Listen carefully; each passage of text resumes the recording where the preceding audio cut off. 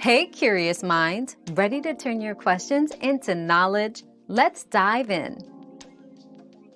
Using ChatGPT to edit your paper is not inherently cheating, but it depends on the context and guidelines provided by your educational institution.